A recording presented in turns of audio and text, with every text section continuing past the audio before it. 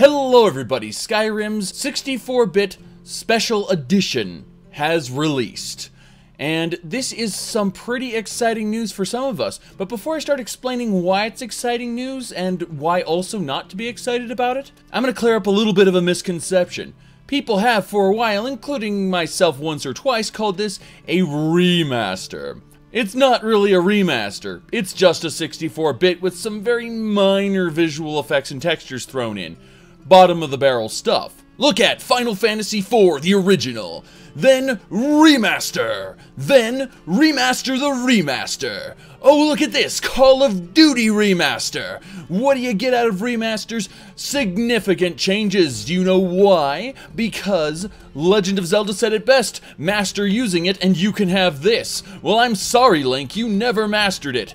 And we know this because the modding community has made much, much more mastered content in the form of ENB presets and texture packs that Bethesda opted not to use, or not to even attempt to replicate. But for those who play on consoles and have never experienced the truly mastered content for it to be remastered, they look at their original, original content, and they look at the minor, minor upgrades that are presented to them and go, oh my god, this is amazing!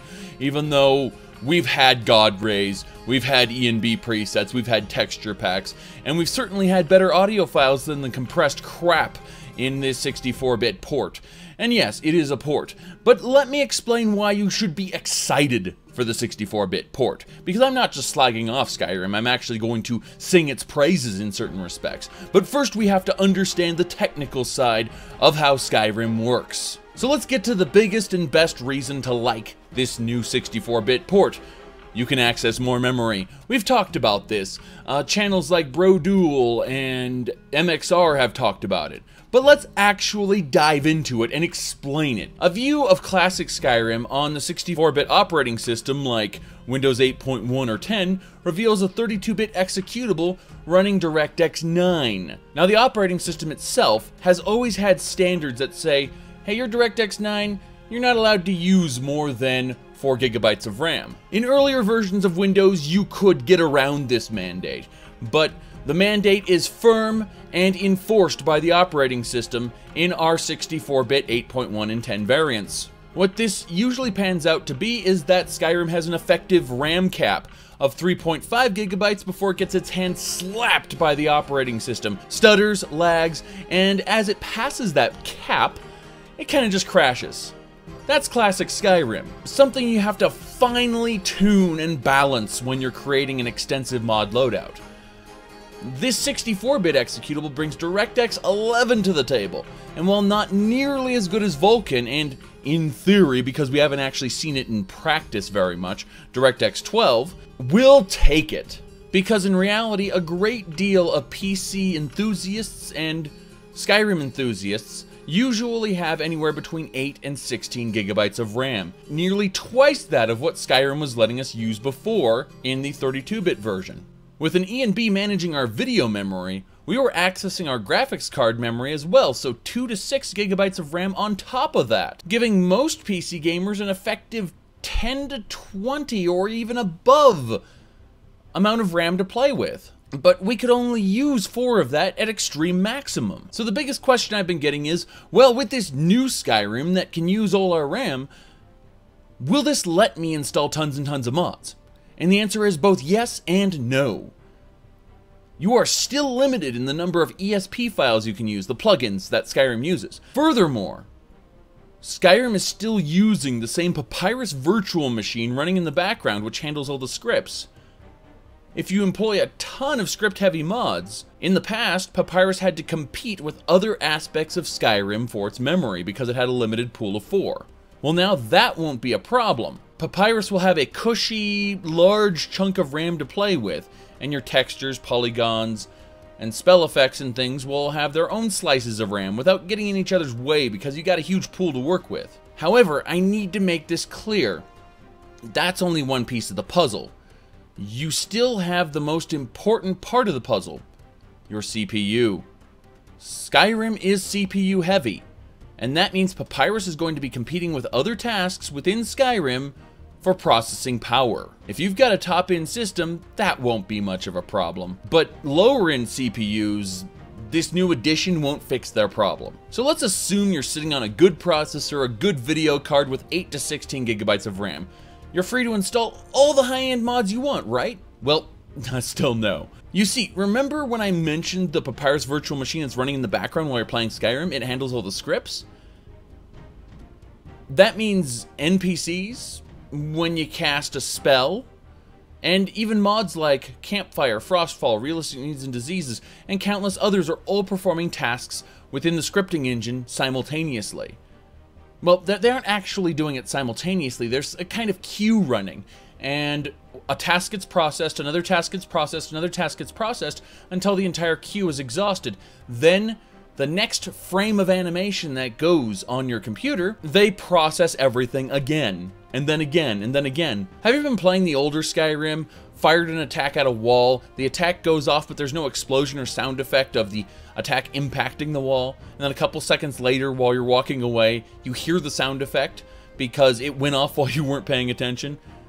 That's the scripting engine struggling to keep up with the number of scripts that are running and it actually gets behind and starts lagging. It doesn't matter how many system resources you can allocate. If your scripting engine gets clogged up, then the game slows down and can eventually crash. Ironically, this is caused mostly in users by not having too many script heavy mods, but rather having a single mod amongst all the other mods that has some kind of bad script programming in it that slowly clogs up the engine over time. So you may not notice until about 10 hours later that your loadout is kind of screwed. Congratulations! Congratulations. Congratulations. Congratulations. Congratulations. Obviously, when this happens, eventually the community gets word of it and will tell you not to use certain mods like Clarilux, for instance. And thus, popular modding always adapts. You should still refrain from using a ton of script-heavy mods. Mod responsibly. Decide which script-heavy mods you want and which ones you can live without. Now you may be asking, well then, what's the point of the special edition in the first place if I still have to manage what I'm going to install? As I said earlier, the scripting engine isn't competing for limited resources anymore. That means you can have awesome city mods, texture repacks, bunch of new loot drops, you know, higher res models and better static meshes. Mods that don't necessarily touch the scripting engine can be used in mass provided your hardware can support it. Whereas before, it was taking a huge chunk out of the pool of resources that your scripting engine was competing for and would potentially even crash your game. Now, those graphic-centric mods aren't really that big a consideration anymore. Yes, you, your hardware still needs to be able to support it and process everything in real time, otherwise you'll get lag. However, if we assume your hardware is up to snuff, that means you're going to have a much, much more stable experience in Skyrim while it's looking better than ever. So that brings us to our next topic, why not the Special Edition?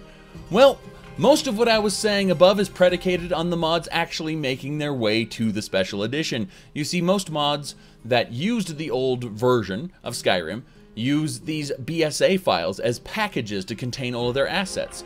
Well, unfortunately, the compression type for the BSAs has changed, so the BSAs have to be opened up by the mod author and recompressed into a brand new BSA file of the same name. Otherwise, Skyrim just plain won't start up. Also, there are certain NIF files, which are animation and graphic files. These particular file format has changed a bit, so not all of your old graphics are compatible and again have to be converted. This means some mods just aren't suitable anymore. So again, just in terms of basic mods, some maintenance has to be done. You can't just grab the old mod, put it in. I tried that with the female body mod, CBBE, ended up having naked women walking around. And while some other people might enjoy that sort of thing, I found it to be very irritating, especially when attempting to live stream. Another problem is the script extender. Yes, indeed. The Skyrim script extender is what allowed certain mods like SkyUI to function properly, replacing the console-based user interface with something that is built for the PC, much easier to use, less clunky, has its own sort bars where you can type in the name of something in order to sort quickly looking for the item you want. It allowed for dynamic heads-up display mods to do all kinds of crazy stuff, and it allowed for, of course, mod configuration menus for you to properly choose the options for your particular experience. Unfortunately, as of right now, the Skyrim script extender isn't functional. The old version does not work with the new 64-bit executable. Here's the good news. For a while, people thought we were going to have to port in the Fallout 4 script extender and, you know, retrofit the Fallout 4 script extender, which is incomplete, by the way, for the Skyrim Special Edition. It turns out they didn't change very much. So the old version of Skyrim script extender is actually a lot, lot closer. As a result, they will have to do much, much less work. Uh, most of the groundwork is already laid. To my knowledge, Gopher is lending his assistance to Silverlock, and they are all working together to get this Skyrim Special Edition script extender up and running. I'm looking forward to it because we want more complex mods, not less complex mods. I know some people are like, well, the console user should be able to use all the mods too. Well, not if it's holding back modding. Ultimately, console users will only be able to use what the maximum that their console allows them to use. We shouldn't halt mod development or dumb down mod development just because everyone should be able to use it. The PC Master Race is a satirical label. It's meant for comedy. The basics of it aren't built in elitism. They're built in the idea that you've got this great machine, take advantage of it. Take full advantage of it. Don't let anyone hold you back. Make Skyrim the best Skyrim you can. And you know what? Unfortunately, we don't have that yet. The Skyrim Special Edition in its current state doesn't even have an ENB, not a proper one. It has a retrofitted Fallout 4 one that is kind of glitchy. Uh, Boris hasn't announced yet whether or not he's porting his ENB executable to Skyrim, but I'm really, really hoping that Boris does because the Skyrim Special Edition ENB would be a great thing. Number one, the ENB allows you to manage memory better. As I said earlier, you can take advantage of your video memory in addition to your regular memory. This is a good thing. Furthermore, it allows unprecedented customization of the graphics options. What if I don't like those badly programmed God rays that Bethesda added? Instead, I want to add custom God rays from, say, Tetrachromic ENB. Assuming Tetrachromic ENB actually had God rays. My point is, maybe I want to replace it with something made by the community. ENB lets you do that. So Boris, please, you have a community that is waiting for that, and we'll offer you support where possible. But yes, we are currently in a waiting phase, where we are waiting for all the best mods to be ported to the Special Edition. It's not as easy as copying files, unfortunately, as we've discovered, but it is coming. So for those of you asking, should I install the Skyrim Special Edition right now, or should I enjoy my regular 32-bit Skyrim? The answer is 32-bit Skyrim's probably where it's at right now. The mods are just better. But in a couple months, I'm thinking we're going to be doing a new mod codex. We'll see. We'll see. Thank you all for watching. Check the social media links for more content. And I will see you in Skyrim because I'm doing live streams. See y'all there.